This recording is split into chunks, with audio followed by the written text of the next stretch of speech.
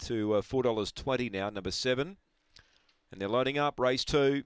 This is the Coffex uh, Coffee Maiden. So Boombox Robbie.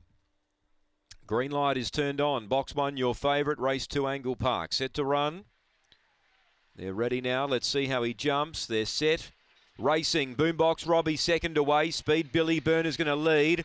Uh, carving over established out wide. Boombox Robbie just behind them about two lengths away. Wanted to run off there and copped a little bump too and drifted back. So I don't think he can win. Running to third, you rascal girl. Going to fourth, left exit. Boombox Robbie and Akajet, the last pair. Established, led by five. Uh, running on you rascal girl. Round the outside, she is making ground on the leader. Established only a length and a half. You rascal girls going to it and got it the outsider of the field. You Rascal Girl defeated established.